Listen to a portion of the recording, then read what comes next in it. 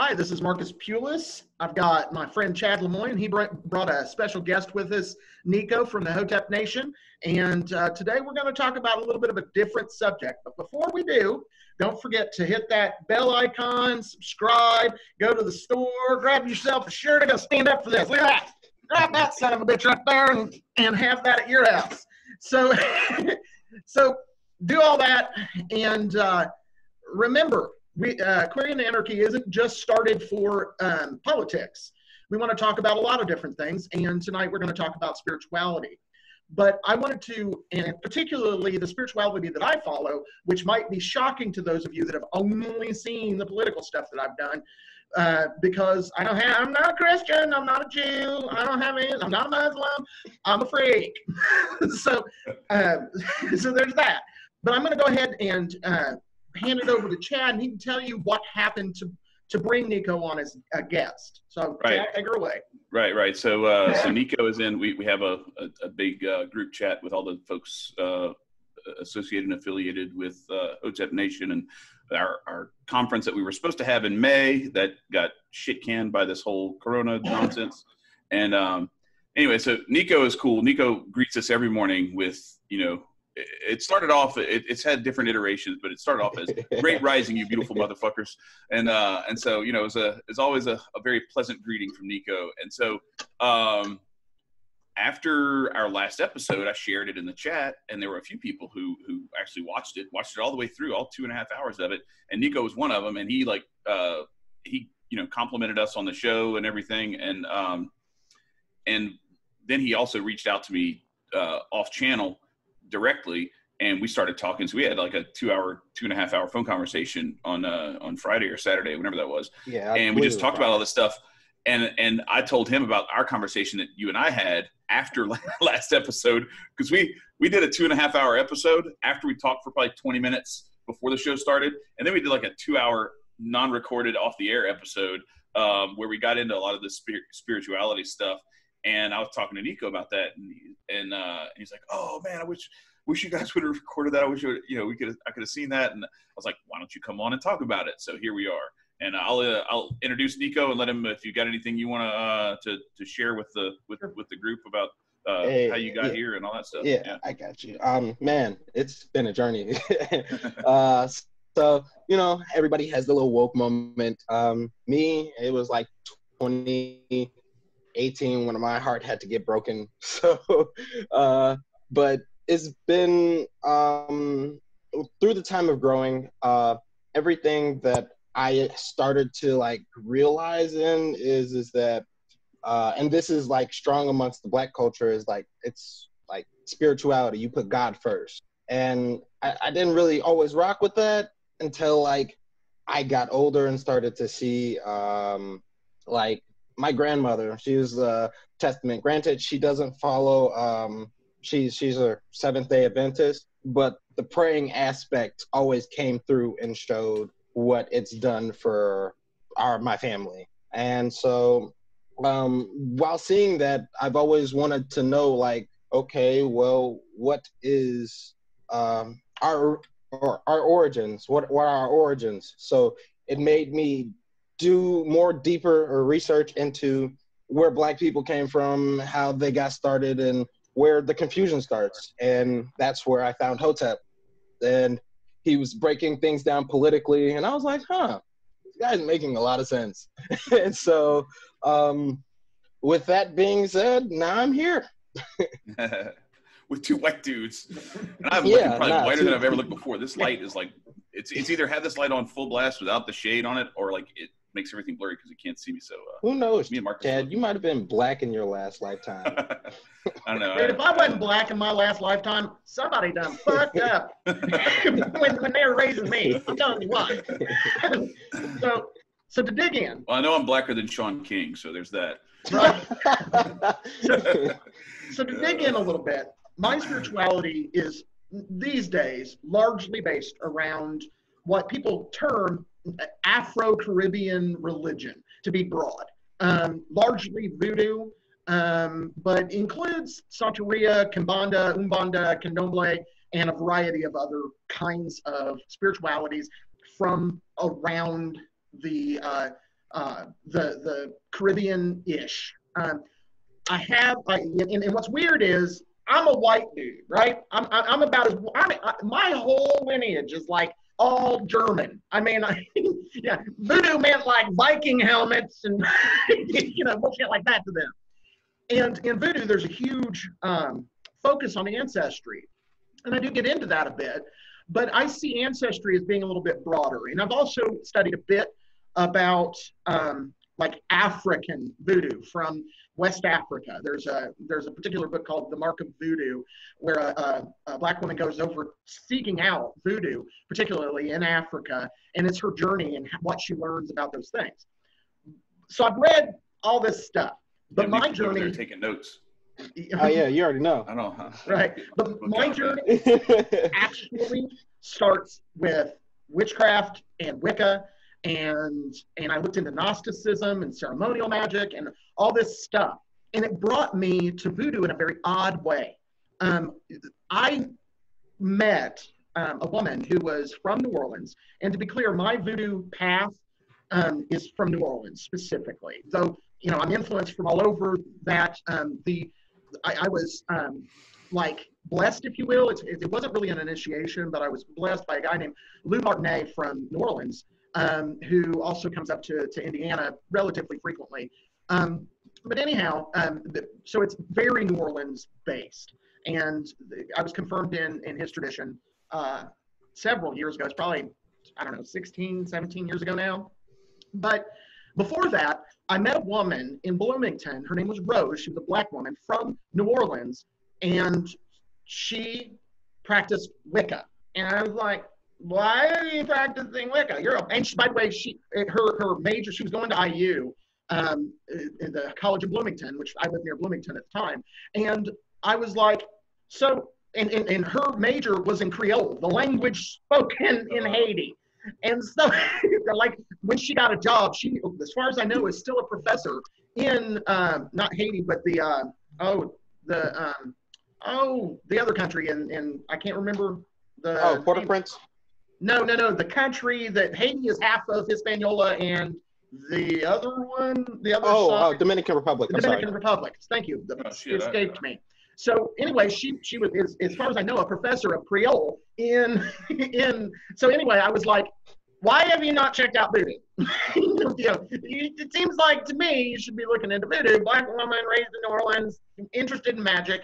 Why haven't you done that? And she goes, you know what? I might just do that. And I you think? So at the time, I was doing Somehow, when we when we bring up Hotep to people, it doesn't quite go that way. it does not. It does It not. does not go that way. They're like, yeah, that's a good idea. I should look into that. They're like, fuck you, get the fuck out of Most here. definitely. It, Yeah, It's not so- nice. so so what I did was I she went and looked up a bunch of stuff and and at the time I was a ceremonial magician, which what you do as a ceremonial magician is just as fun as voodoo, a little bit more light and more organized and no drums, no music, no fun, and, but you call archangels. And so I wasn't really all that afraid of uh, of the the magical stuff. And she said, "Can I check this out?" And I said, "Sure, let's do it." And so she didn't really get possessed. The the gods in Haiti or in New Orleans are called Loa, um, which uh, in but in Africa they're actually called voodoos. That's where the, the, the term comes from, or uh, spirits. And so she got different during the ritual. I wouldn't say that she was possessed by a Loa, but she was definitely different. And she told me that the Loa had something for me to do and that I needed to look into them. And I'm like, okay, have you noticed I'm white? The, the white guy, you know, and they were like, she was like, I don't think it matters. And I'm I like, think, okay, I think you're there to make up for Whoopi Goldberg having Right, uh, yeah, yeah, she sucks. in her in her body. for sure, for sure. And, and what's funny is, It's to balance things out, right? yeah, yeah. Well, in, in our life at that time, we knew a black guy that was into like Teutonic, uh, like Germanic Viking stuff. So this black guy walking around with big furs on and horn helmets, looking like looking like Bugs. Bunny, with the, you know the Valkyries and whatnot. So anyway, so that's how I kind of got introduced, and race mattered to to to several people. I met another guy. This wasn't the only thing that hit me and why I started looking into voodoo. Um, but I met a, a, guy who was um, uh, a Santero, he, which is a priest in Santeria, which is from Cuba, very similar to voodoo. And he, same kind of situation. Hey man, let's hang out and let's do some craziness. So we did, and again, totally unrelated. Had never met Rose. Rose is long gone. This is like four or five years later. He tells me that the the the spirits, they're called orishas in um, Santeria, wanted me to do something, and so I was like, okay, these guys are stalking the shit out of me. I might want to look into them. Mm-hmm. So I did, and I still don't know what the hell I'm supposed to be doing, but um, around 15 years ago, I pretty much dedicated my life to finding God through the Afro Caribbean uh, system of spirituality. And so there's my story. That's how I got there. So what you want to know? oh, man, uh, that's so you were breaking down. Um, there are multiple derivatives derivation, whatever the word is. Um, yeah. Voodoo. Yeah. Um, not voodoo, but uh, you said there's Santeria, there's voodoo, and there's, and there's isn't there like something called hoodoo? And um, like, granted, voodoo and hoodoo are two different things, right. but um, there are different types, if you will. Um, do they do those African Caribbean um, what you call it religions? Did they at all re- resemble the same? Are they the same in any way? They're the same in a lot of ways. Um, they, they all come largely from three different regions of Africa. Um, the Santeria and uh, Candomblé and Umbanda, uh, which are Brazil, the last two are Brazilian variety. Um, they come from the Yorubic portion of um, of Africa. Like it's in West Africa, and there's different areas in West Africa. So they're, they come from the, the Yorubic mm-hmm. area. They're, they're the Yoruba tribe. And, and, and, to be clear, we're being broad. There, there's a lot of different like different kind of tribes and areas that come in, but this is broadly where they came from. And what became voodoo came from Dahomey, um, which which is a, another area of Africa.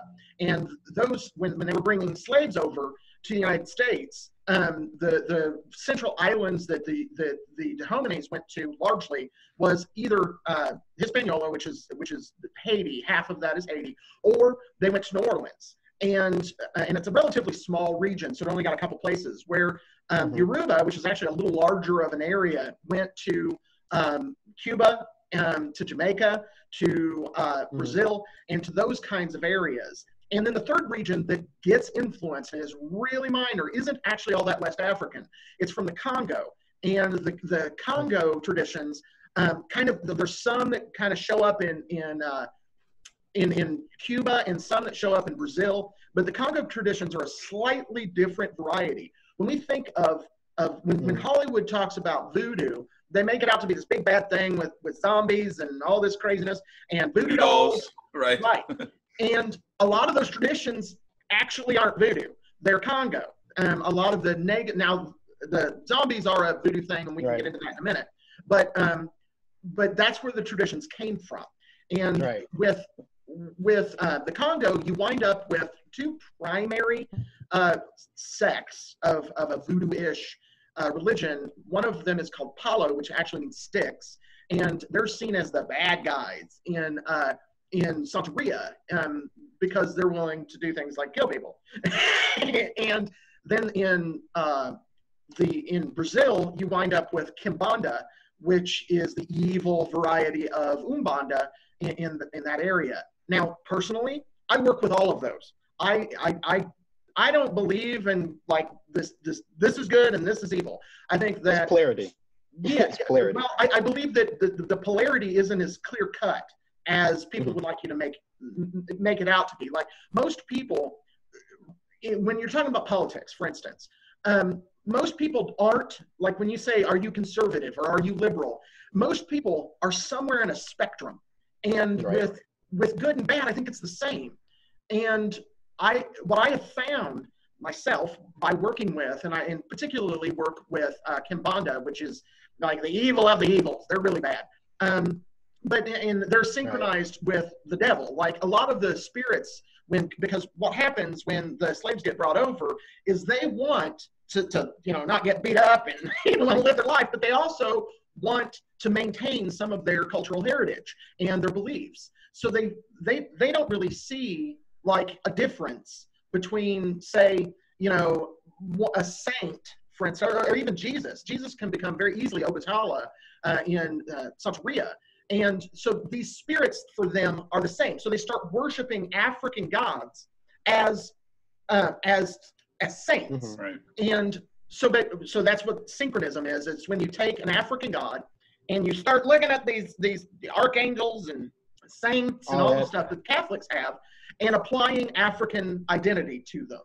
Well, in Kimbanda, they um, they mixed, if you will, um, the the devil with mm-hmm. these African energies. So you wind up with a spirit right. called Exu, and and and his wife, whose name is uh, Pomba Gira, and there's a variety of those.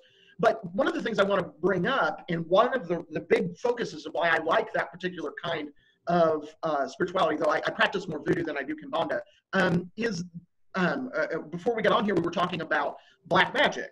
And remember, these are the bad guys.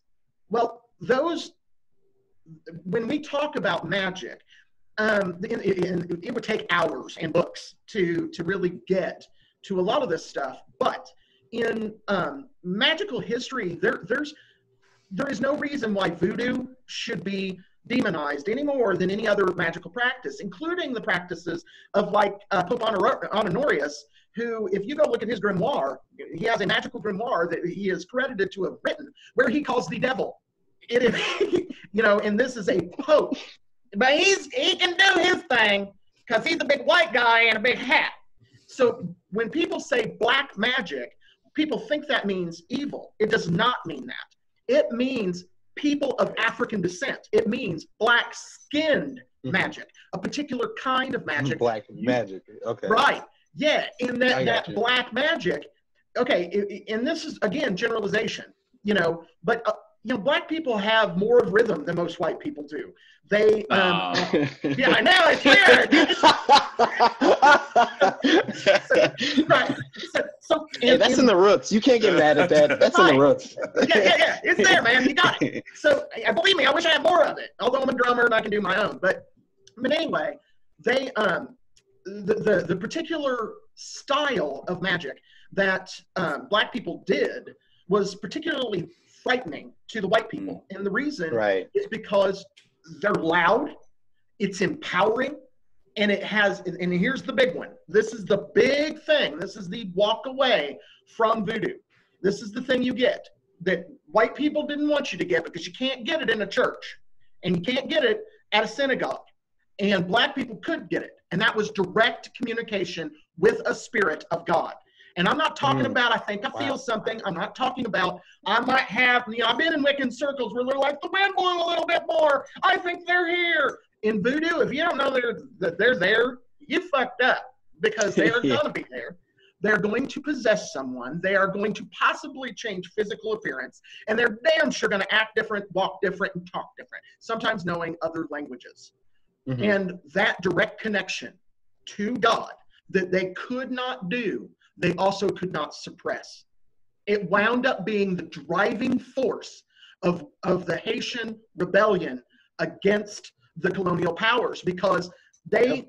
they were so empowered by their belief system that they overthrew they were the second ones to do it they followed the united states and they overthrew a bloody dictatorship that was enslaving them and killing them. There is a, a Loa called uh, Erzulie Le Rouge, and Erzulie is a, a goddess of love. Erzulie Le Rouge is not. She is a very pissed off woman, and she, in voodoo, they many people believe that once you, um, if you die well, you can become a Loa or a part of a Loa, or you your spirit becomes like more intertwined with it or something like correct. that. Correct. And Erzulie Le Rouge was a person who fought a, against the um, the I believe it was the French, and they, was... they went to kill her. They they proved that they she, they had chopped her head off, and she killed two people in the time that it took for her to die after chopping her goddamn head off. Is this that is where woman. zombies come from? Huh? Is that where zombies. zombies come from? With the fear of zombies. Yeah, because I, yeah, because um, I also, I'm sorry to cut you off. I remember uh, um, when learning about um, the the the, uh, the Haitian uh, what you call it uh, history is that um, the tenacity that they got from the empowered spirits and all that adrenaline pumping through your blood. Um, they they they got scared, and so once they got kicked off and booted, um, everybody was like, "Yep, they made a pact with the devil." Everybody remember it. Voodoo is a pact with the devil, and so mm-hmm. That's where the negative connotation just lingers with it. And um, there was this guy, I, my cousin sent me a text of where it's repeated um, occasions where he just talks bad shit about the Haitian culture and voodoo. Hmm. Yeah, yeah, and, and and that's common. That the, the, again, you know, I'm not trying really, and, and I never have been. I, I found the Loa because I found a direct connection of, to God, and, and and frankly, they just wouldn't fucking leave me alone. These hmm. these Loa wanted to be part of my life, and I've never, you know, have I had like do I have I ever given a damn what somebody's color of their skin was? No. But I've never been particularly interested in African culture. I've just never it's never been something I was all that interested in. But um, what I have found is that throughout throughout time, white people are terrified of empower, empowered black men. Terrified. Yeah. And, and this isn't to besmirch anybody else. This isn't to say that, like, for instance, Martin Luther King Jr. wasn't good and did what he needed to do. I'm not saying that. But they feared Malcolm X a hell of a lot more than they did him. And the reason is because that was a powerful black man and they saw him coming to power. And the, mm-hmm. the white majority, because whether we like it or not, white men have been in charge of the world for the most part for, for thousands of years. And they did not like this empowering religion. And, and they're facing it now with Islam. They didn't like this empowering religion that was not in their control. And so they had to stamp it down and make it as evil as they possibly can. And I believe that it is rooted in racism. Hmm. So can I, can I play uh, can I play a little devil's advocate on the uh, stuff with the uh, the, the, oh, the spirits spirits kind of taking over and everything? Because uh, all right, so like I'm Catholic and um, and there's like there's like charismatic Catholics and there are there are like uh, Protestants who do this sort of thing too, where there's like speaking in tongues and stuff. And I've been, I've seen some of this stuff go down, and there's some stuff that I've seen that I'm like, you know what, like that's that's like legit, like that's they're like, it's genuine. And then there's other things where I've seen like people like um, either predict stuff or like heal people or you know that sort of thing too. And then I've seen a whole bunch of other stuff where I've seen people like because it's seen as like a sign of something to be revered a sign of prestige, a sign of like you made it, you know, like you that people fake it to get that. So have you seen that sort of thing? Have you ever seen and had to kind of like call out some bullshit where? So I guess I'm not really playing devil's advocate. I'm just asking because you know, I think a lot of this stuff is there's a lot of congruity. Mm-hmm. Um, and that's that's kind of what the, we talked about this a little bit on, on Sunday when we were kind of prepping for this. Um, I was out in my, in my yard just kind of sprinkling uh, some weed and feed in the yard before it rained so that I could uh, I'm trying to kill some stuff in this new yard that we have. Uh, and while I'm out there, it's quiet. I'm just with, with my thoughts alone. And I just start thinking about this stuff because Nico and I had talked a few days before, and you and I had talked earlier that week. And I was just kind of going through this stuff in my head. It was on my mind because we were we were preparing for that little setup call. Um, and I just started thinking, you know, like there's not there's not all that much difference between like people and their religions and people and their languages.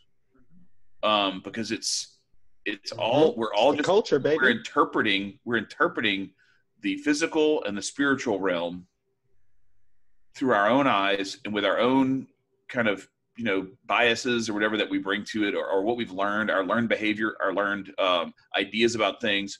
And so a lot of times i think what i what i find most productive is instead of because I think that some of that stuff is is by design. So like you know, whether you believe in uh, Satan or some other evil spirit or something like that, like I think that in the world of spiritual warfare, where evil is trying to prevail over good, um, that it is a very effective and productive device to cause miscommunication, division, and to push put people in a place where rather than look at this stuff through the lens of what do we have in common and how can we spread love and appreciation and joy together.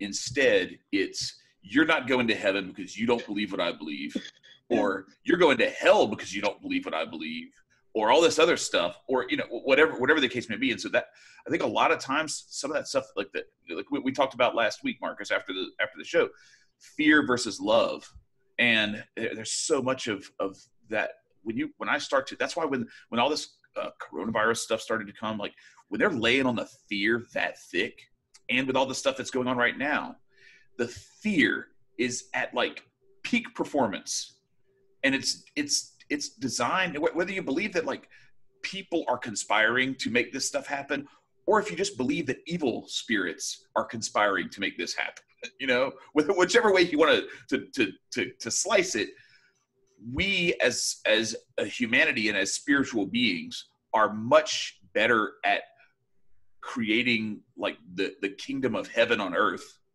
when we are working together and loving one another than when we are looking at each other as the enemy yeah, absolutely. So I started that off by like saying, "Hey, have you seen some of the stuff that's bullshit?" But like, really, like I, I, I, I kind of wanted to, to bring it back together because I think that sometimes that fear of like not being accepted kind of comes into play too. Where like, let me let me pretend to be like, but what it is is like, there, maybe there's a, a fear of like what I don't I don't fully understand this. I don't know if I'm really if I really believe this enough. So let me fake it till I make it, or whatever the case may be.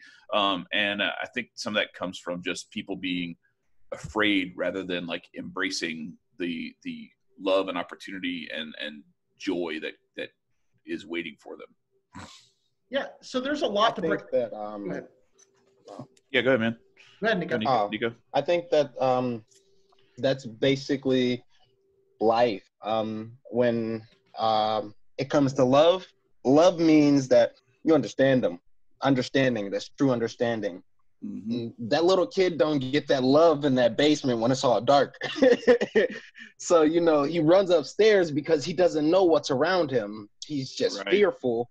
That's the ignorance. It's just all of ignorance. Once you're Hmm. informed, you can't be ignorant to the fact. Now you're either being blatantly an asshole or you're just you. So it's just like it's always coming back to information. Information, be it via history, be it uh, be it via your body or anything of that nature, spiritual or anything. Once you get rid of that information, therefore you can create the narrative Mhm. because the imagination is a powerful thing, a super powerful thing. It can run away with you.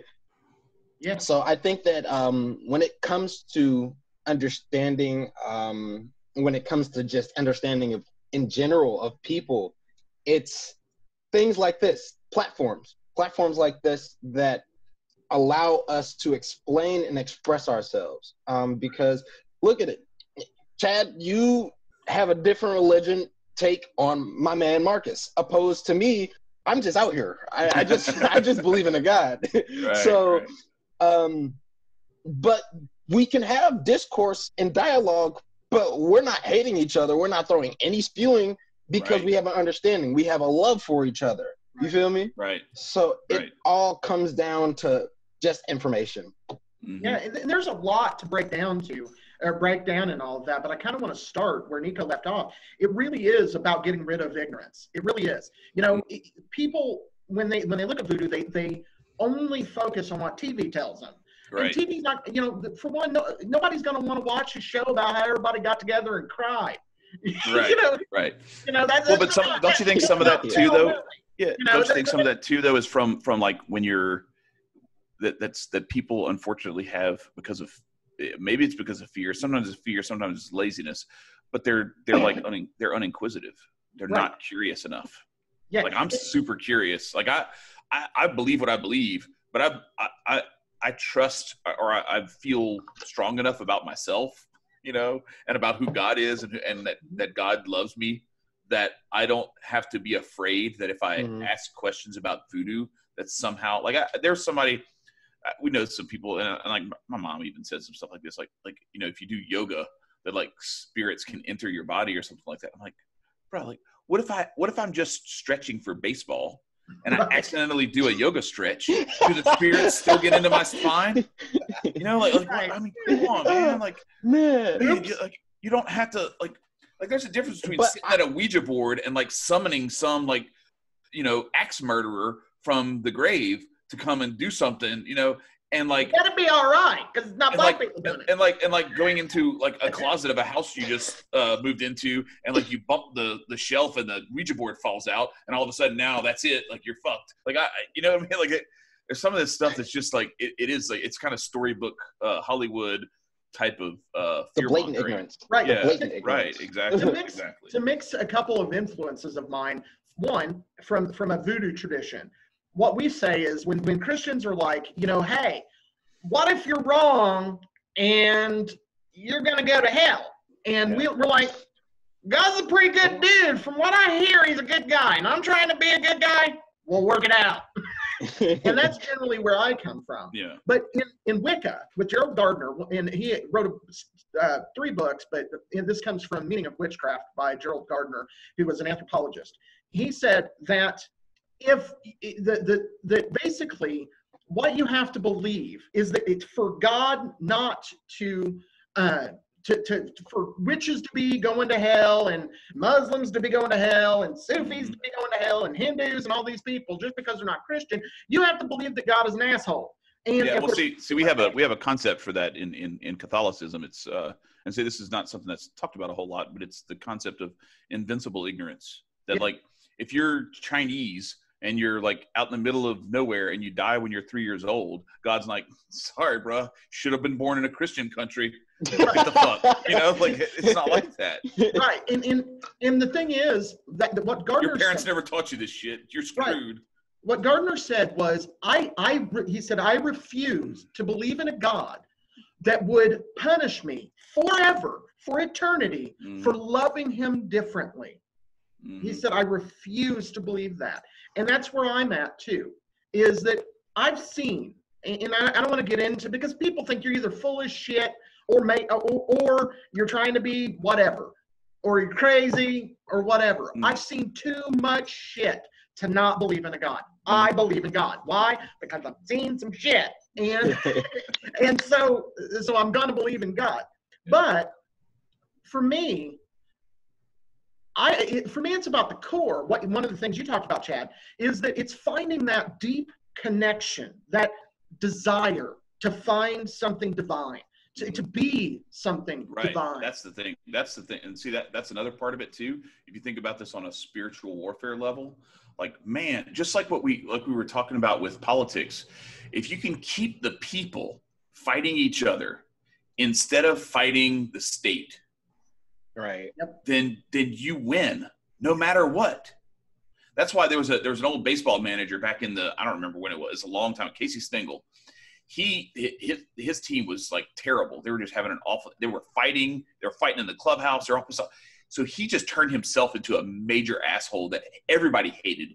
So at least they agreed to hate him yep because then they banded together and they and they played better together. They still sucked, but they they played better together because they were busy hating him instead instead of each other. So it's kind of the opposite that the that the the, the state and the uh, you know the lizard men or whatever who lizard people um, that they do. It's it's this. If you think about it from a spiritual warfare standpoint, man, what a great idea! Have all these different interpretations of who God is fighting each other about who Ooh. God is Ooh. so that they don't even pay attention to the devil. Right. That is some, that is very wow. That's mind shattering if you think about it, because it's like, granted, yeah, we play this comparison game of God's better and all that, but we never really focused on like, hey, our guy's cool, your guy's cool. Let's just be cool together. Right, right. So, so let, if I if I may, I want to I want to kind of because this is because I think some of this come you know back to the the thing about like the kid in the basement and the fear and all that kind of stuff. Uh, I, I wanted to to read this. I was I just came upon this today. This is something I I tweeted this out like almost a year ago today.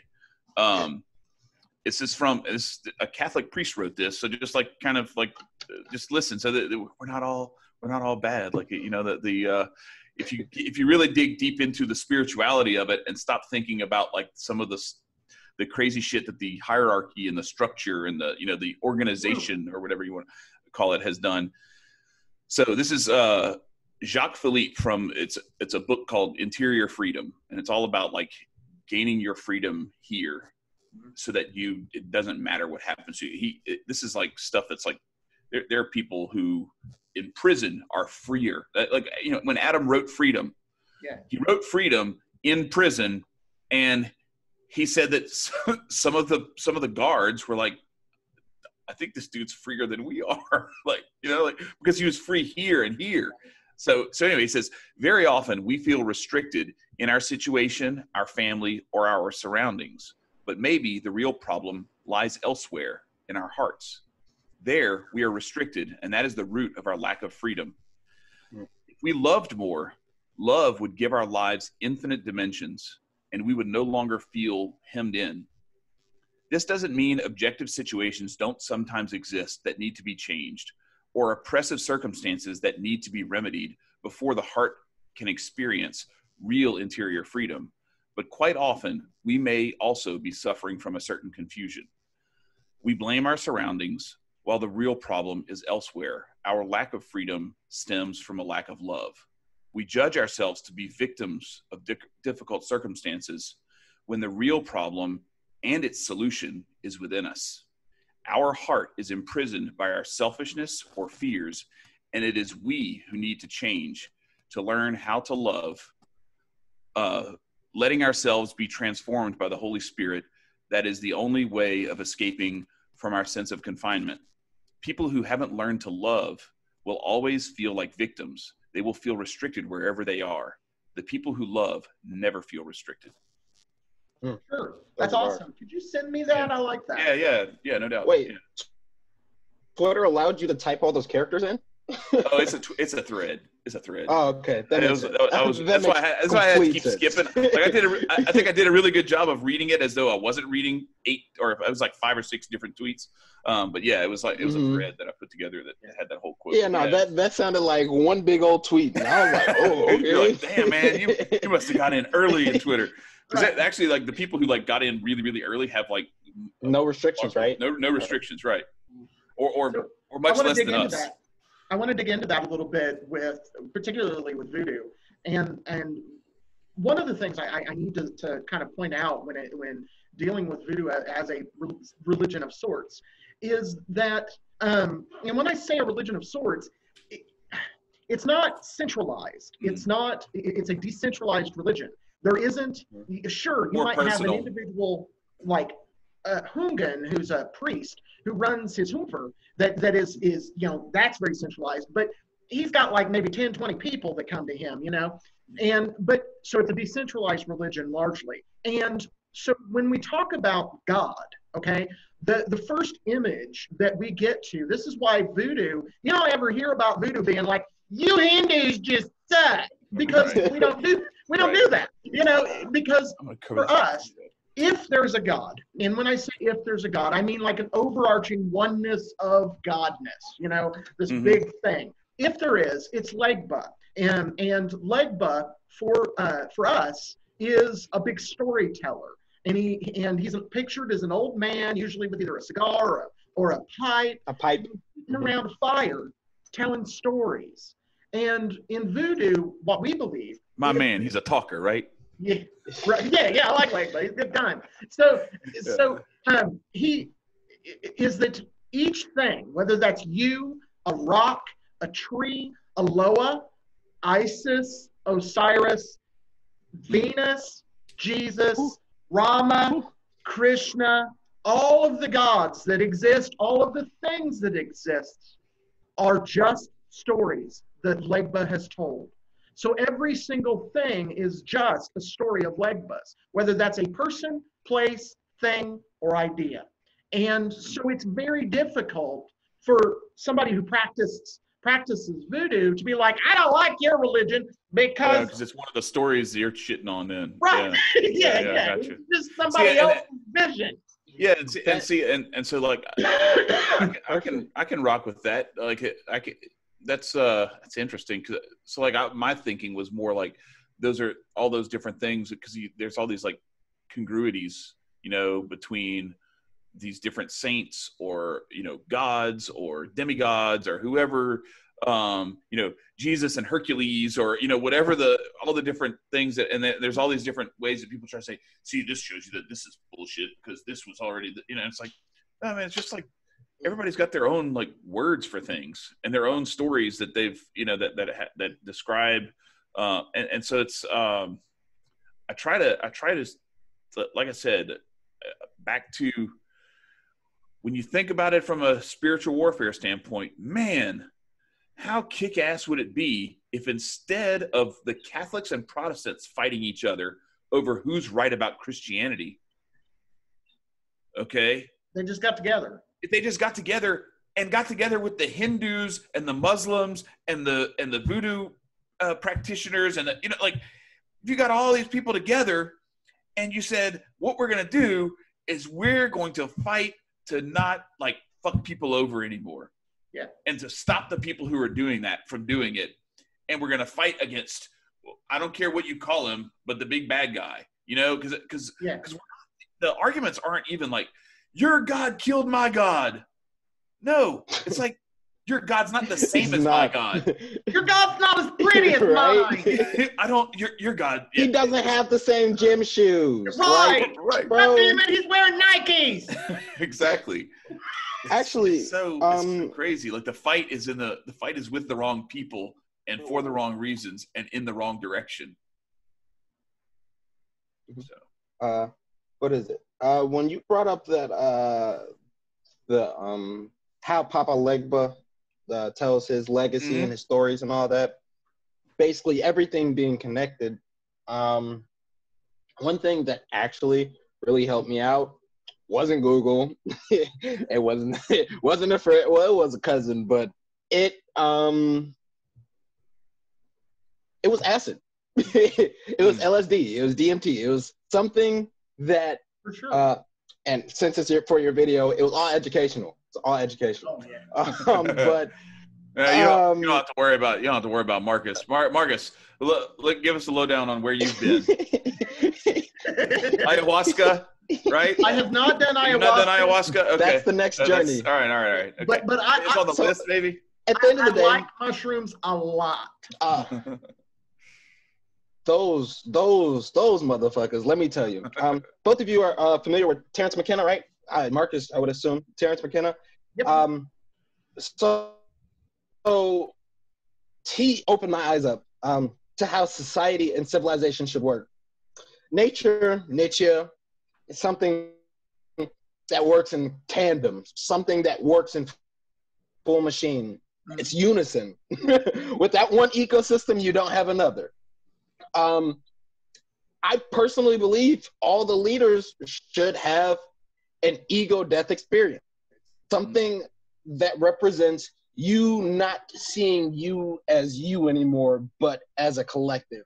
Because at the end of the day, granted, you're a single little micro speck on this planet that can get wiped away by a meteor in an instant second, but your ideas, your thoughts, your experiences, and who you are as a person fully help shape the web. right. It's always about what you can do. It's not so like, for example, this whole hoo-ha with this goddamn riots and Black Lives Matter.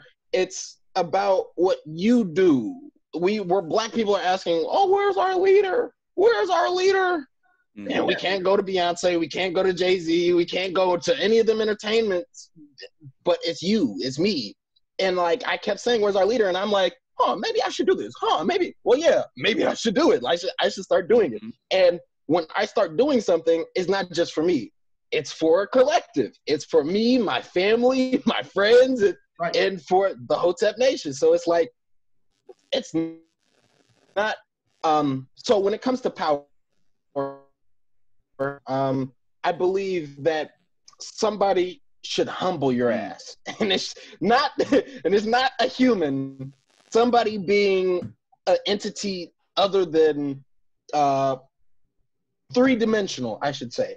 As soon as you take something as long as along the lines of DMT or uh, anything along the lines of that chemical compound, you show your emotions, you show yourself, and when you have that collective of people who have those powerful um, or who are in those roles, I personally believe every person who's in a role that pushes society in a certain way should have done DMT or some kind of uh, mind perception altering drug to make you realize this is all in unison.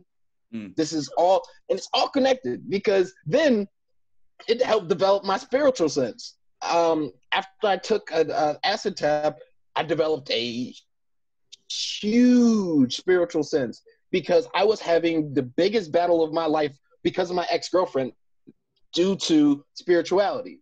She was following along Christianity, and that was my family all my life. I was confirmed in eighth grade for crying out loud. Hmm. Sunday school every Sunday morning.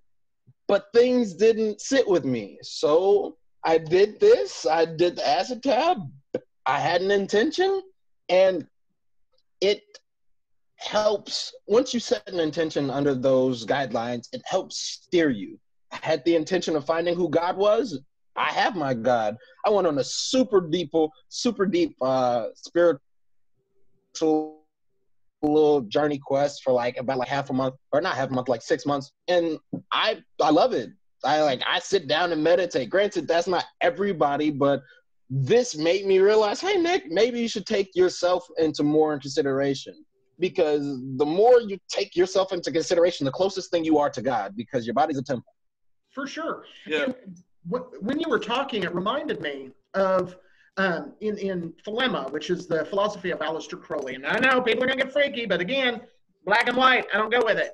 But Aleister Crowley talked about, uh, he has a book that's like their holy book, um, that it's called the Book of the Law. And it's divided into three chapters. I'm not going to get into the real depth of it long story short, the, the first two chapters are about the universe. The first part is uh, based on the Egyptian goddess Nuit, who is the night sky.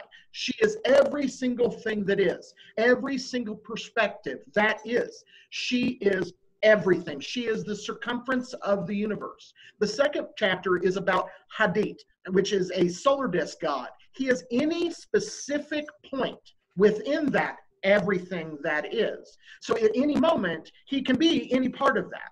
And I mm-hmm. think because talking about the collective and, and expanding your mind, whether through through drugs or through meditation or through ritual, or there are a dozen different ways you can get there. When you get mm-hmm. there, that experience needs to be both collective and the totality of everything, but also very intimately personal. Mm. And it needs to be where you not only go outside and go as far as you can, but you also go inside and go as deep mm-hmm. as you can at the same time. In the Thelemic pantheon, the, the, the marriage of those two ideas, it comes through the goddess Babalon, B A B A L O N.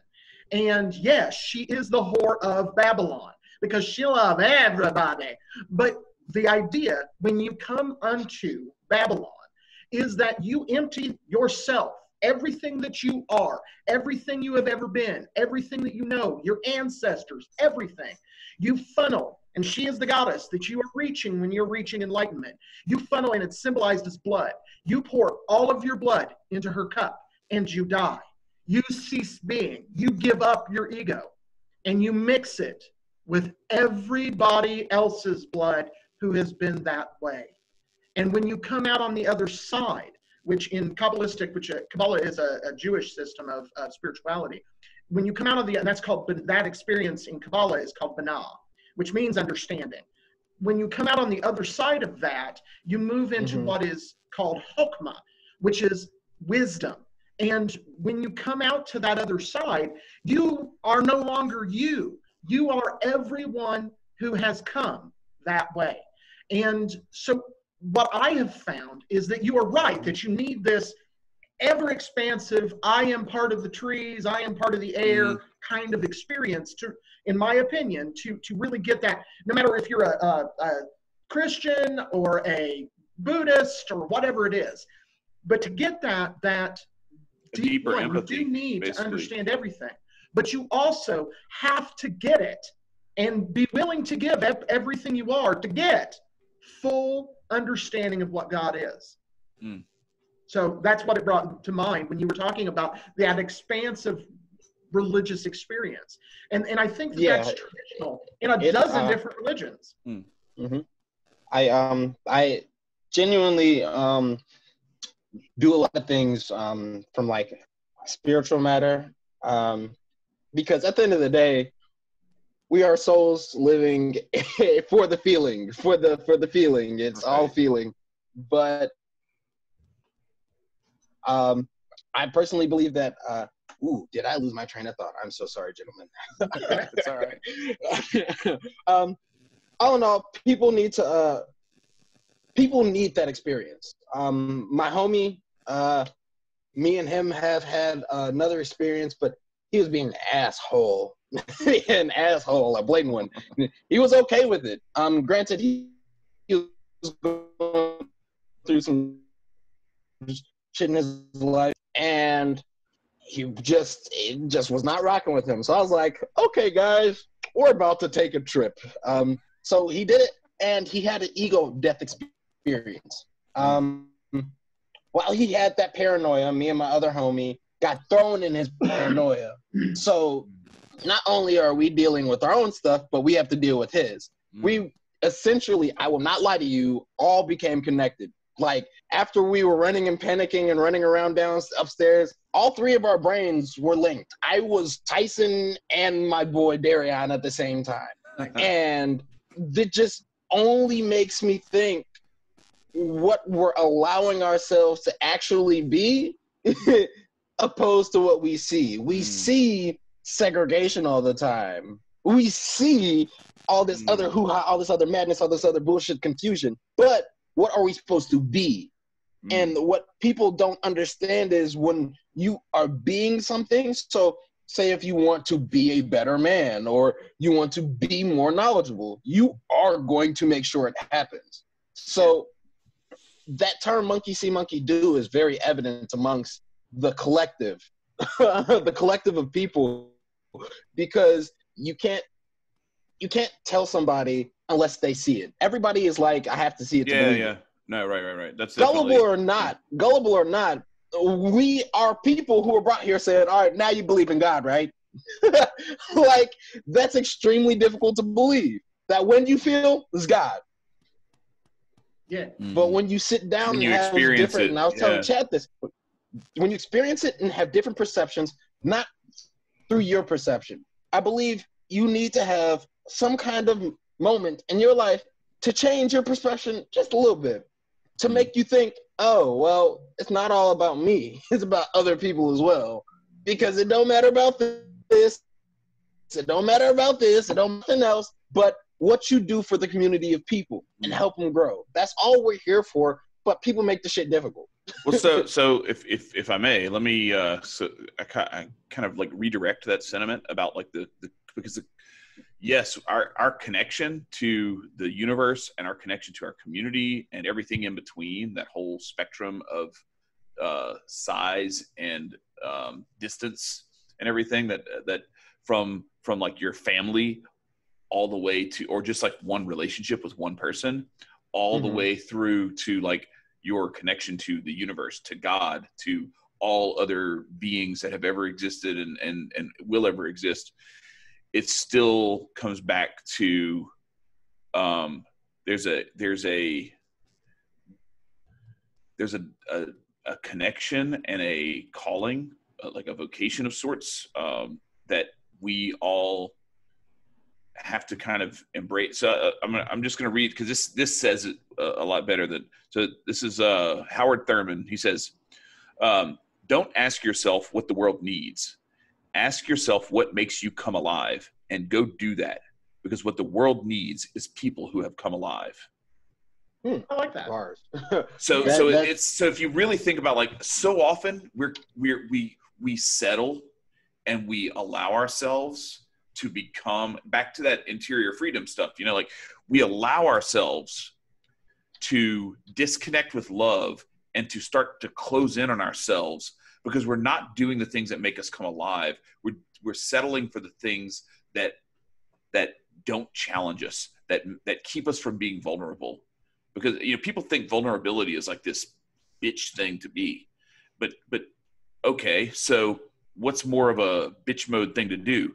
To go out there and fight and to make yourself to risk getting hurt, to to to be vulnerable, or is it more of a bitch mode thing to do to hole up in a bunker and cover yourself and not ever expose yourself to the world?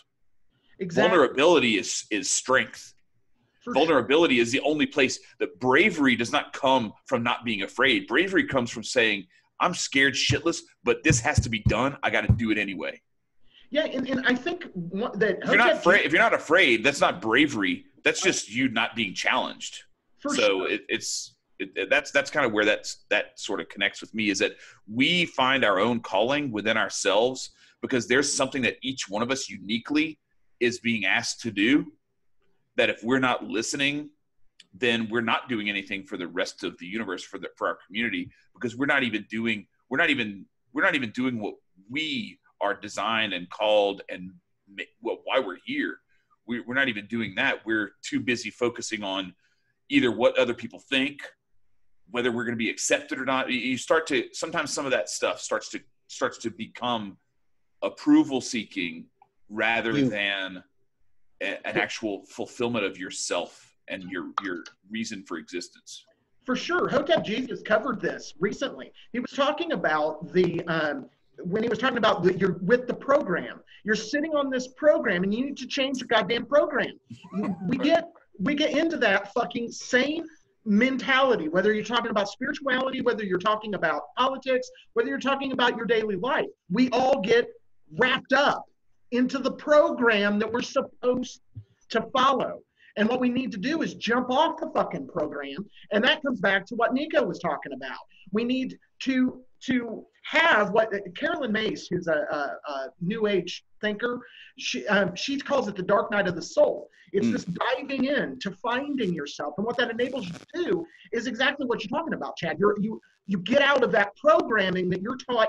You have to fear for this. You have to do this. You can't you can't get together. You can't talk. You, this is the program that you've been fed, fed. And by having that dark night of the soul, by going through that that expansive belief system, you know, challenge, belief system challenging moment where you have this godlike experience, you can't stay on the program anymore.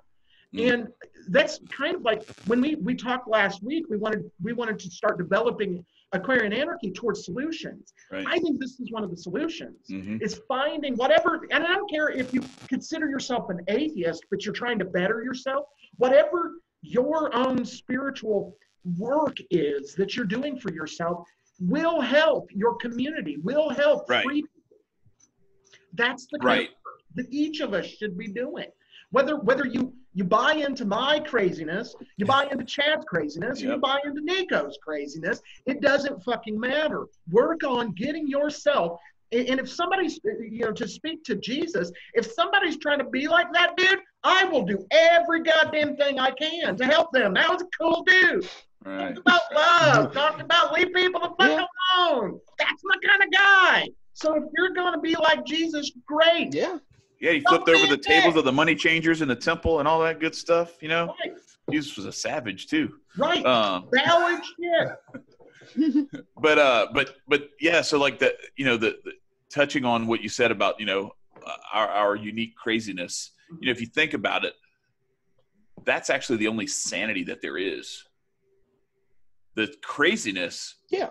is the shit that we have like come up with and just swallowed whole Right. which is like you're bad because you don't believe I, what I believe. You're bad because you don't believe what either of us believes. So you're like extra bad because you haven't even figured out yet, but you know, or, or, or you're, or, you know, whatever. You know what I mean? Like it, there's like this.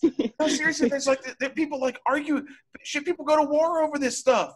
You know, and the, and the the other thing is too. Like let's you know, the, Yeah. the big elephant Yeah. in the room is that the worst religion in this whole thing is is statism. Is the the belief that if you give a bunch of power to people on earth to rule over other people as they see fit that like somehow that's going to make the religions you know agree with you no that's actually the vehicle that what, what they've done is that eh, there's been a lot of corruption of the the the idea and it's been it's really clever if you think about it so religion has been credited with being the source of so much conflict, so much war, so much death and destruction. But if you really think about it, what's happened is actually the state is the source of all that. And the state has used religion as a way to pit people against each other. Hmm. And the state's source is is is evil because only evil like Adam said, the reason why his his plan was if you elect me president, I will sign an executive order day one, resign from the presidency, and start the bankruptcy process. Because no one, unless you're a psychopath, should want to be president. no one should want to have that much power over Not at all. 350 million people. No one. Yeah, and, so, so, can, so that's that's the source of when you, when you think about it, like concentrating all this power over people to go murder people all over the world for whatever reason you come up with like that's the evil. Right. And and and, and it's or it's the manifestation of the evil that we should all be fighting. And so instead what are we doing? We're fighting over whether it's really the blood and, and body of jesus we're fighting over whether voodoo is like voodoo dolls poking in people and it's making you know like all yeah exactly. Whether you know and whether uh, uh because it's because it's a, a, a religion that came from africa that that makes it even worse because now it's like you know you know what happens when when black people do stuff? It must yeah. there must be something wrong with it. It's like god damn man we're we're, we're all we, we could actually we could actually have had for thousands of years the kingdom of heaven on earth if we could just get out of our own damn way. Absolutely.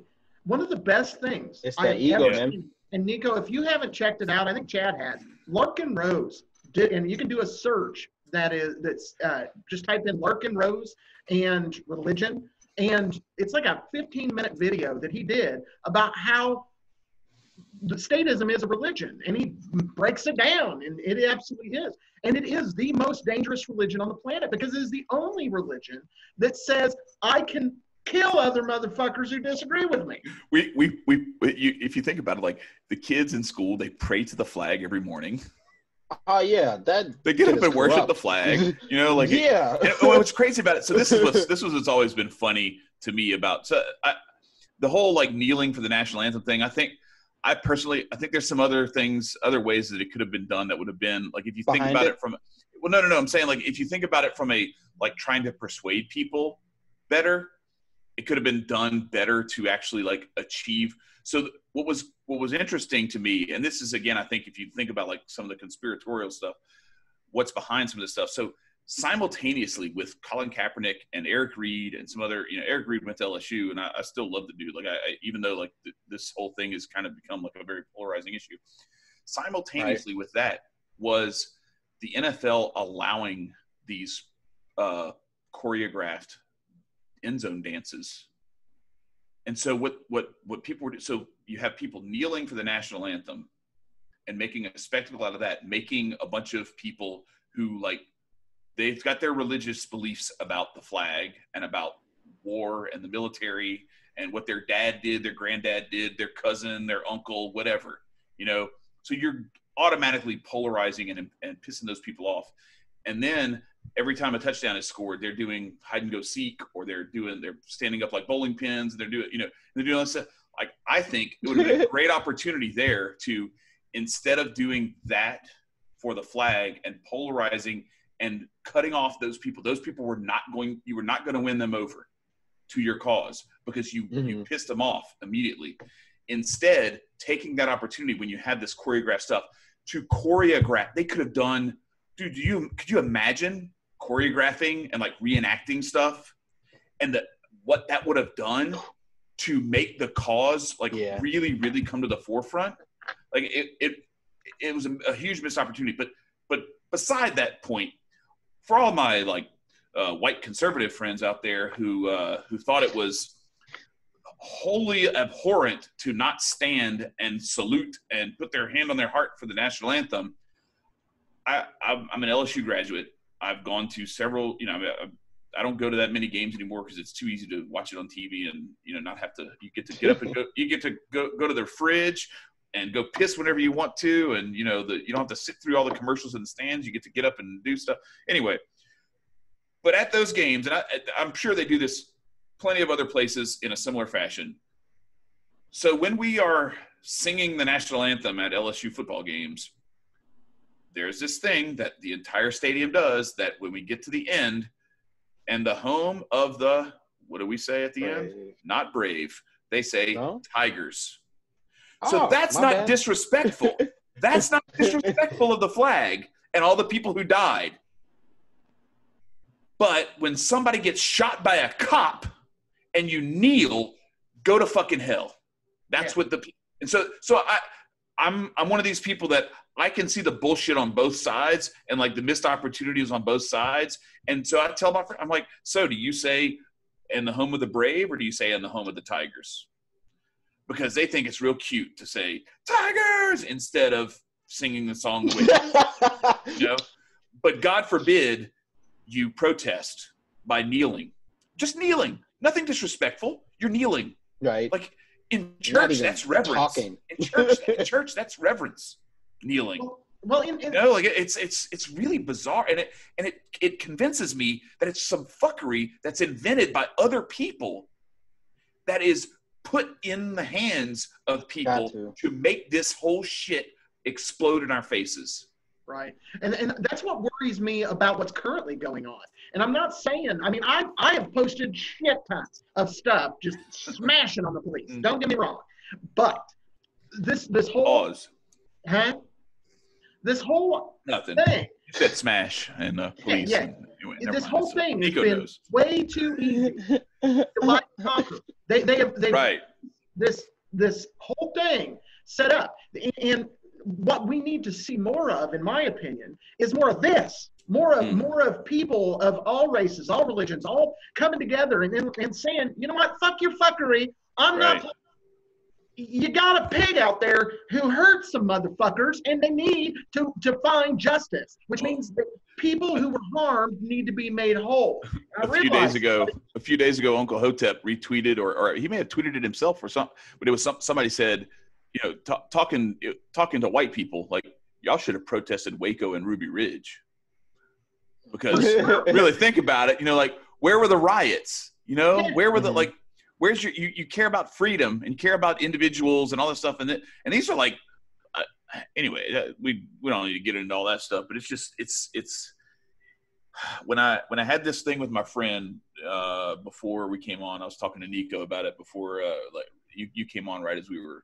uh, kind of wrapping that whole little thing up, but it was just it really like it broke my heart to to listen to somebody like just basically parroting the same shit that I've been hearing for three weeks.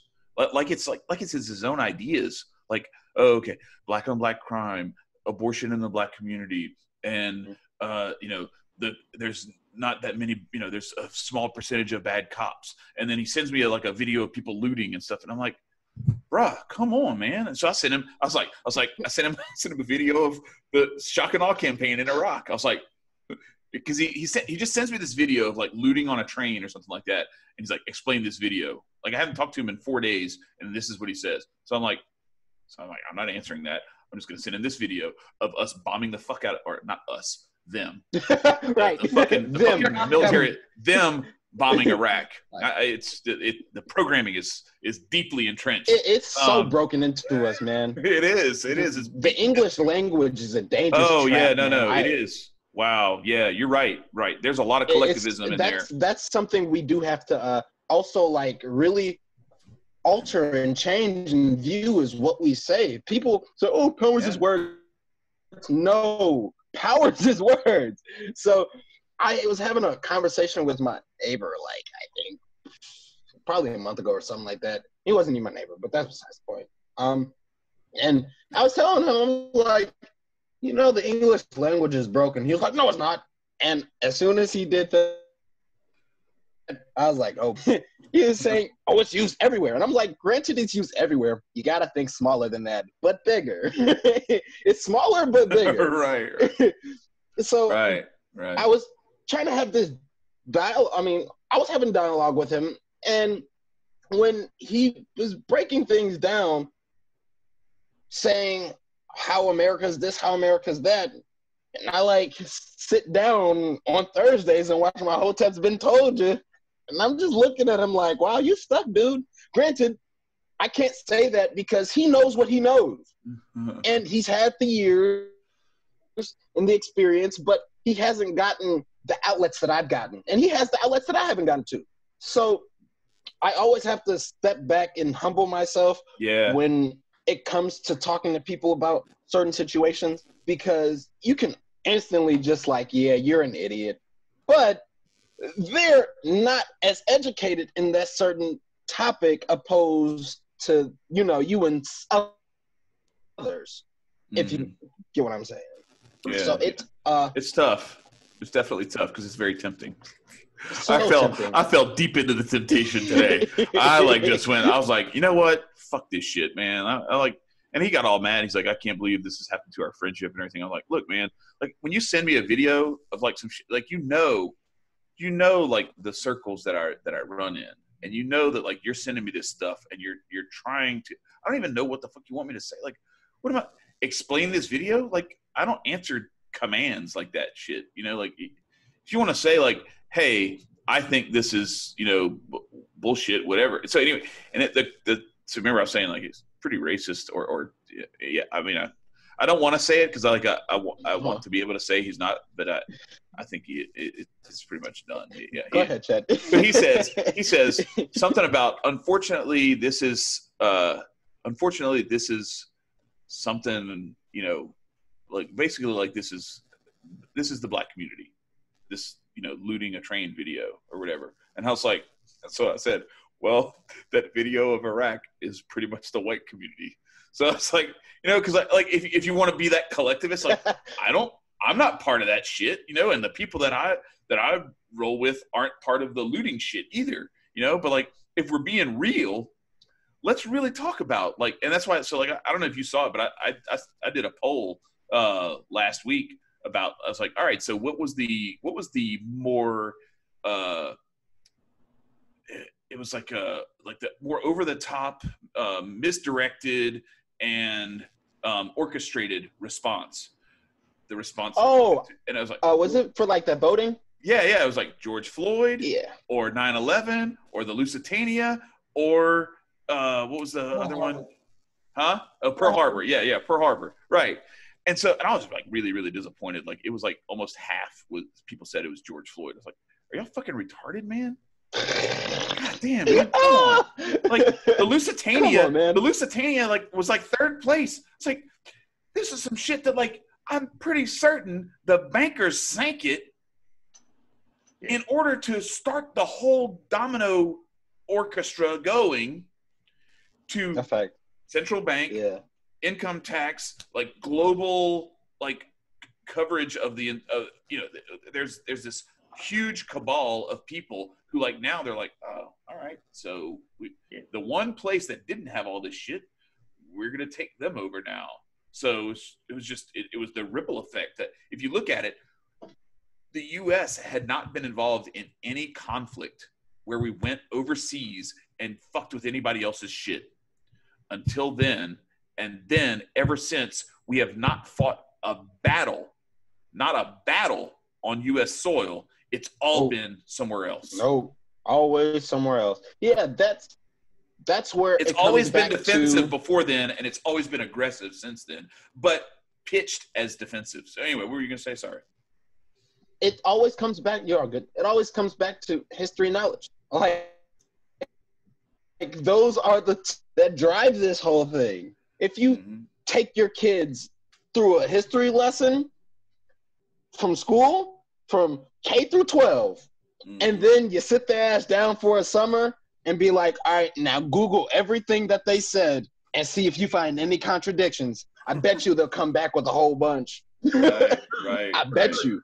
And so that makes it should give people more incentive. And if this damn coronavirus shit didn't give more people incentive to look to things, I don't know what will. Look, bro, I I don't got- know what will I- because I, don't have I don't have a whole bunch of followers, but I lost a bunch when I tweeted. I said, "If you still if you still fly and salute the flag after this, you're a simp." Yeah. you are. You genuinely are. Like And people were like, times "That ain't it." They, this- you know, they were like, following me, blocking me, and like arguing with me and everything. I was like, I said what I said. At the end of the day, we've been lied to so many times blatantly, like legit in front of our face, for us not to realize, hey, we have the internet. Maybe we should use it. Mm-hmm. And, I, and I had this discussion with my dad about the flag on on over the weekend, and it was you know he's like, oh, that's not what the flag means. And I was like, no, man, look, I'm telling you, like, just step back, step back from what you've been told your whole life.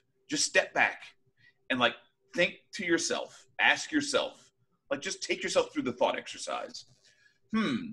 If I wanted to Mm. make a bunch of people like religiously devoted to something, I would make a symbol that was unassailable and that everyone had to pledge allegiance to. And I would make them recite that prayer so much that it was like ingrained in their head. And then I would fill the whole entertainment, media, everything with a bunch Have of the kids do propaganda and have the right, have the kids do it. And then ha- and then fill the media Mhm. and the entertainment industry with all this propaganda and then tell your tell your sons and dads and uncles and brothers when they go off to war that they're fighting for your freedom even though they're fighting for poppy fields or oil fields or gold or whatever it is tell them they're doing all those things Mhm. and then tell me that that that flag is not a religion and it's and it's not you can hold this, these positions at the same time. You can hold at the same time that like the people who didn't know that they were being lied to went over there and sacrificed their lives for what they thought was their families and their freedoms. And that you hate Mhm. that that happened to them. And that you cry for their families and you hurt for their families and for them and for their souls but that you also recognize that the people who orchestrated all that bullshit are full of fucking shit and they're evil Right. and you can hold those two things at the same time you don't you don't have to worship the state in order to not hate the people who died because they thought they were fighting for freedom right? And and the the hard part too It's just is another that- human being. Yeah, it, it, this is it's very difficult for people to make that break too. Yeah. It- it- because and, and I tell people, you know, because for me, I'm an anarchist and my flag is black. You know, fuck all your flags, fuck every bit of that worshiping somebody else's bullshit. And so, but but Mhm. you've got to warn people because it is hard. It is Mhm. hard to to have a freedom-based mentality because you have to question shit. And you can't Mhm. just go along. You just can't just get along. You've got to think, and you've got to think for yourself. So I tell people right out of the gate when they start, when they're like, "Tell me about this," and I'm like, "Okay, I'll tell you about it." Warning: If you that- follow this train that I'm about to start, you will wind up an anarchist. It, it will happen because if because the the natural Yeah. progression to the fuckery leads you to fuck your government. That's where it goes. So yeah but the the uh, the phrase the phrase that you start that conversation with is you're not ready for that conversation usually what is it? I mean, I'm glad usually they're not I'm uh, super grateful that you guys brought up the point of the flag because um, before we got into this, I was watching a few videos, and I'll throw it in the chat. Um, but it was brainwashing of a flag and what it can do to your nation. So back in 1804, when Haiti, um, and then like a little bit prior to that, back before it, uh, like freed themselves, they freed themselves from um, the French, they had a flag that was black and red. It was black and red. And that black and red had ties to voodoo, had Hmm. strong ties to voodoo. Legba. And ever since, yep, ever since they switched that around to being blue, red, green with the machi- the machetes, um, the the cannonball, the green little shrubbery, and then the little flag. It's all supposed to represent France. They don't care. I'm just. It's so. It was a. It was that trigger that you don't have. If you had that black and red flag throughout Haiti consistently representing voodoo, black power, and all the other things that had Mm. with it, the Haitian country, Haiti now would be completely different. For It's sure. almost like it's almost like a Hunger Games Opposed sort of to- transition where they like go like this is to remind us of the rebellion that we're all ashamed of. you know, like, Well, and we need to make amends for this. Right? To build Right. on that with voodoo symbolism, understand that in voodoo, how you call the loa is there's a symbol. It's called a veve, and you place that symbol down and you call out that that uh, that spirit from that veve. It's like saying, "Hey, come over here." And when you are em- embodying legba, I didn't know this by the way, but but it makes absolute sense. When you're saying our nation is legba, remember what I talked about the, the inclusiveness of legba how it is everything and everyone and everything. But when you take two machetes, put them together, and you throw some green on there, what that says to a voodoo practitioner is Ogun, who is the god of war. And so I wonder why Haiti has been at war with itself forever. Wow.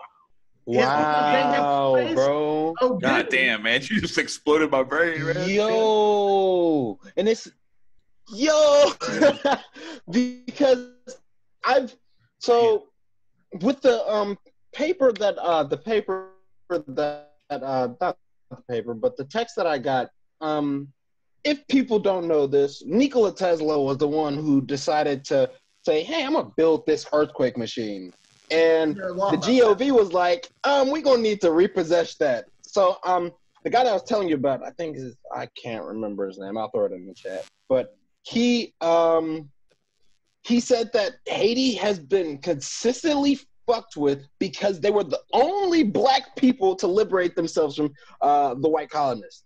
And so the earthquake, the earthquake was a machine. I personally believe the earthquake was a machine now. Ever like after you put these little ducks in a row, I personally believe that they did that. I believe it's um, possible. and then after that, um, the mass murderings and then Pizzagate ran all through that shit. So, um, um, so like, it makes complete sense on being somebody who's a part of the culture. You know what symbols are and what they do. Ignorance, ignorance is the key out here.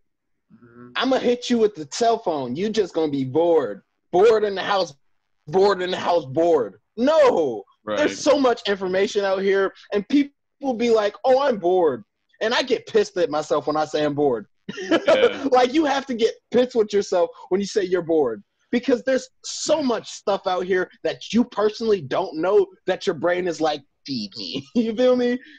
So, Yeah. um, Well, that's why. That's why. That, tying that's it why all we. together. Yeah. Go ahead. What's up? No, I was What's saying up? that's why. That's why I sent you that link to Skillshare, so you could get into there, get in there, and dig into. Yeah, that, no. uh, learning, learning some of those those trades. Now, I wouldn't necessarily go to Skillshare for like history and shit because there's probably some like propaganda. Yeah, no, but it's just skills for the skills. Yeah, for the learning skills. Hell yeah, man. Yeah. Anyway, go ahead. So tying But- it all together. tying it back together, the flag has such. It's not even a flag. It's what the flag represents, which is symbolism. Once you have that symbolism, because every time you think of red, white, and blue, it's the states. It's not Italy, or not Italy's green, but mm-hmm. you feel me? Like it doesn't tell you France. It doesn't. You don't think of France since you're in America. Right. You think of America. You straight and wrong. you feel me? Right. So when you're able to change that perception from strength, or you change it from American flag, the 50 states, the 50 stars, or you you start to bring in the Hotep Nation, if you will. Every time somebody sees that trident, they're like, "Oh shit!" like because they know a Hotep's in the building, and we Yeah. gonna hit you with facts. So it's how you how can you change the symbolism to make people open their eyes up?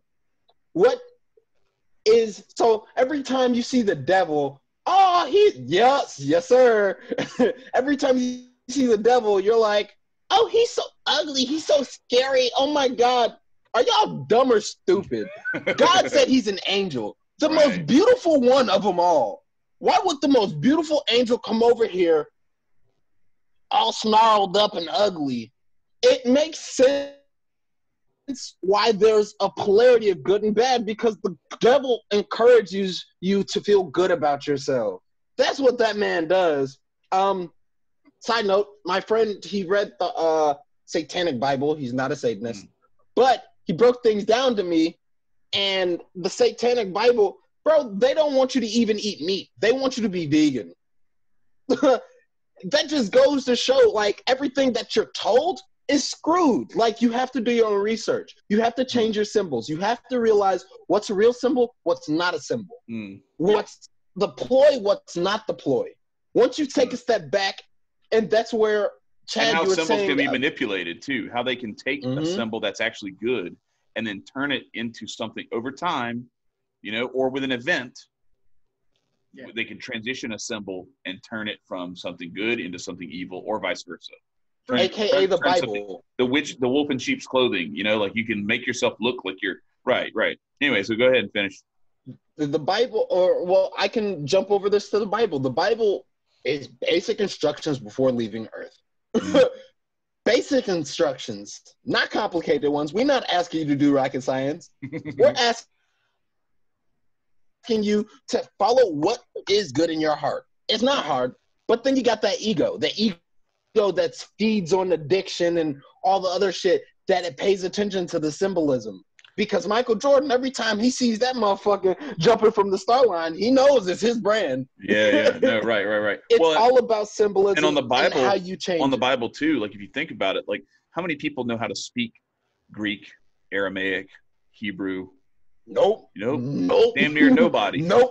You know what I mean? And, and and so what are we reading? We're reading the King James version of the Bible. Like I wonder who that favors. Maybe I heard King James, James. was gay too. I mean, shit, I don't know. Like, but but you know, you start thinking about this stuff, and, and it's like, and I, so I, you, you have to start wondering, like, some of the stuff we were talking about before about like God casting you into hell because you're, you know, like He's going to throw you into Gehenna because you didn't do something, you know, or you or whatever the case may be. And so it's like, hmm. All right, and Gehenna was like where they would like burn bodies and stuff like that, burn garbage and everything, and um, it's Oh, um, this smells nice. yeah, yeah, right Right? but but no but so so like if you think about that stuff then then like okay so where where did that get maybe twisted a little bit a turn of phrase here or there and one or or several Telephone. of the, of the interpretation exactly it's the telephone game it is and we're reading the bible that and so like i'll so I was, see i'm wearing this shirt here that says our family fights so i'll, I'll read something. Now i don't know how many times it's been interpreted and everything but it you know it's it's still it's still cool. So that talking about like what like the instruction manual or whatever you want to call it like this is ultimately what it comes down to is like finding what you believe in or finding what what you value who you value and then like living for and fighting for them. It, it says uh uh see where is it? Remember the lord and fight on behalf of your brothers your sons and your daughters and your wives and your households. And that's that's it. Uh, that's that's what that's the quote that's on the back. It's nehemiah 414 it's on the back of this shirt. Um and and it's really like that so like if you think about it from that standpoint back to that thing about who the enemy is and and how we're not each other's enemies because i think so much of this stuff is a is a fuckery of like if you can get people fighting against each other instead of fighting the real enemy then then you've then you've won before the battle even starts because you're they're not even fighting like you're watching it, what's that what's that old phrase like when your enemy Right. when your enemy is killing is eating itself or, or destroying itself let it yeah. you know Yeah. so like the, the Yeah. enemy the enemy has just said y'all fucking destroy yourselves and i'm gonna take the day off Right. you know and and, and and and truth be told the enemy doesn't really take a day off because it's just No. digging the fuckery in deeper and everything but sure does make the job a hell of a lot easier but ultimately like i still you know i'm catholic like like we've discussed before and everything and i still believe that there's this uh this this notion still prevails that the, the gates of hell cannot prevail against the uh, against god against good and Sure. and so so we ultimately win anyway it's just a matter of like how much suffering and how much disillusion um we can uh and how much illusion you know like disillusion from the standpoint of like dissolving but illusion you know uh i think we have there, there's there's so much confusion and um and doubt in ourselves and in each other that is sown that i think we are what our job what we're here for is to is to try to wake up as many people as we can and to try to to build something strong enough to be fortified. So like when Marcus and I were talking last week about where do we go um, with with this show from here. You know, yeah, there's a lot of uh, there's a lot of people out there identifying all the problems, and they they can you know they'll play clips over and over again of all the different things that are wrong and all the things that are bad and all the different things that are you know. But all right, where's the solutions? That's why I like like so I, you know go to like to uh, someone like uh, Shakim Amenaket, who's like building you know he's got a, a, a, computer lab and he's got suits for people where he's like he's making it to where people have somewhere to go to learn and to get the things that they need to go to that job interview or to go to uh, an admissions office or whatever the case may be um, the the forward thinking how do we work together and how do we say like how do we find like okay you can do this i can't do that so can you help me do that?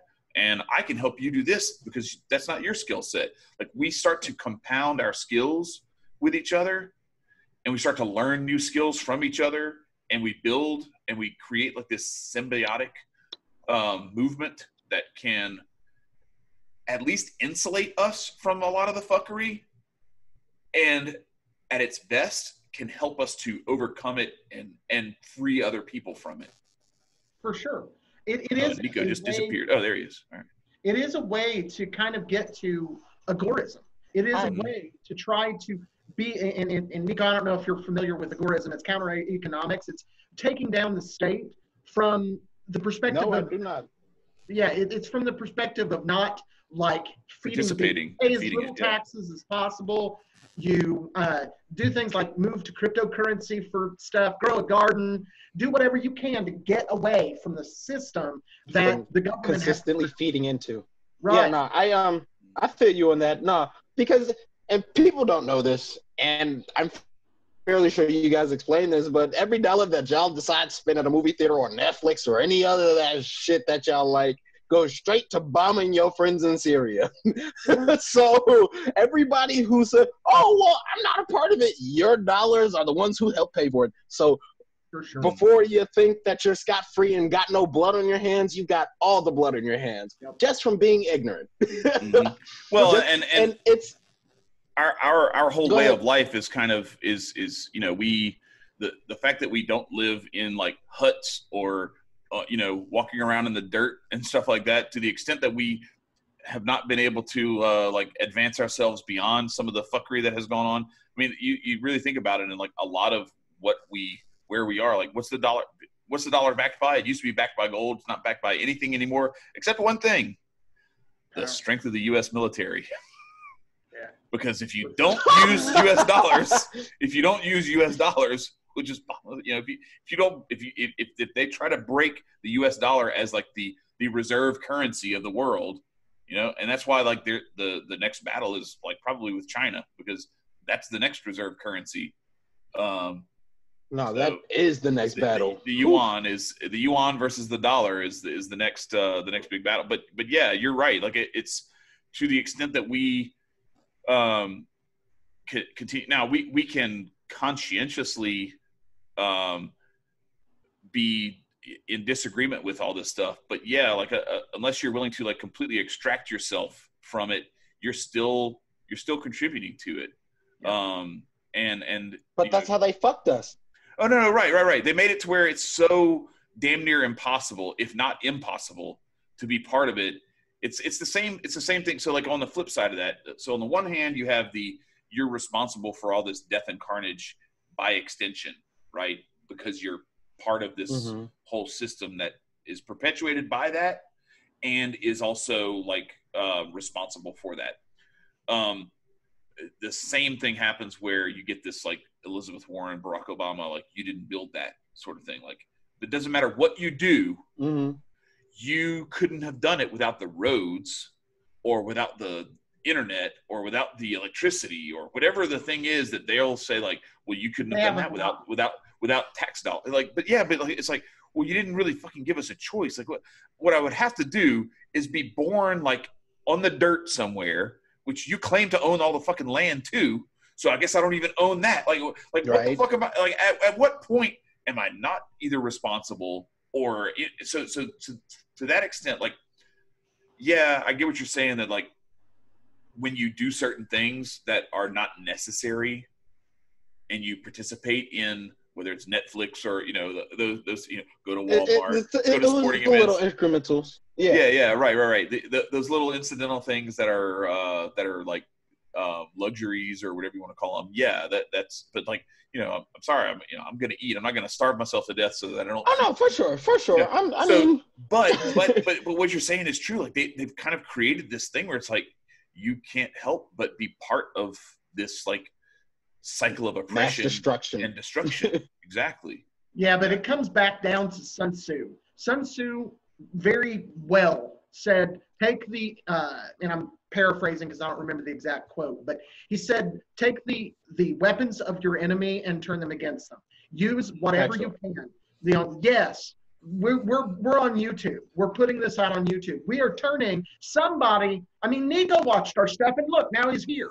So- right, right. Right. Right. So somebody out there is watching this stuff and they're learning stuff and they're thinking about stuff. So we are turning their weapon against them. Mhm. The Guys, sword it's- is the time? Right. It's been good. We've got we're approaching two hours now, and I made Yeah. a promise to Nicco on Sunday. You shouldn't have made me that promise. up. I was here. I was here for nine everything. minutes to go. So Right, right. we got nine minutes. But um, so I want to wrap up with with my quote for today, and what I'm going to uh, do. And first of all, if you've liked this, share, uh, subscribe, do all that stuff. Uh, go check out the store. The links are below, as are uh, my Twitter, my Facebook, Chad's Twitter, and Nicco's Twitter. If you guys want to check everybody out. Um, so we'll st- so that's out of the way. The quote today is, I think, a- an important one, um, and not only by what it, for what it says, but by who it's said from. It was it's a quote by Rajneesh, who was a cult leader um, in the early 80s who started a community in the United States. And he's loosely a Hindu ish, but he had like different uh, beliefs. He would eventually be known as Osho. And what he taught was to reject the government and find your own spirituality. He taught freedom along with individual experience with religion. So they kicked him the hell out of the country. they, they said, oh, hell no, because he got a bunch of people together, different cultures, different religions, different That's people. scary shit for them. Right. And they were terrified. That's way more scary than if you just got a bunch of Hindus doing, Right. doing the same thing. Yeah. So, so this is what uh, Rajneesh had to say about freedom. It's one of my favorite quotes. And there are going to be people that say that some of his people did this and they did that and blah blah blah. I don't care. They obviously had a problem with him. If you want, there's a there was a a documentary about him out for a while, but they went after this dude with a vengeance. So I don't believe any of their bullshit. So, but this is what he said about freedom. He said, "True freedom is always spiritual. It has something to do with your innermost being, which cannot be chained, handcuffed, or put into a jail.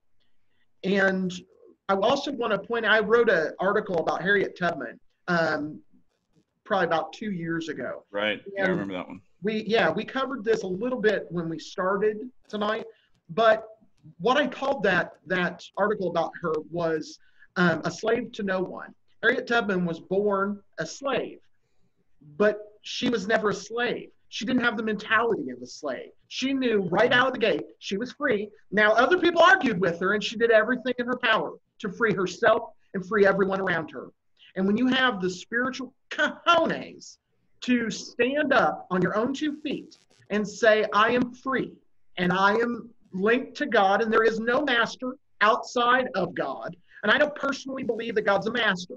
But if you're going to have a master, that's the only one you get. If you say that and you say it with conviction and you stand on spiritual grounds and say, I own myself and I am going to be free and God is going to help me get there. There is no force in this world or any other one that will stop you.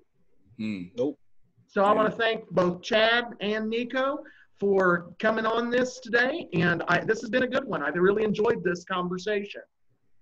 Thanks a lot, guys. I'm going to go ahead and stop the recording. Oh, uh, likewise.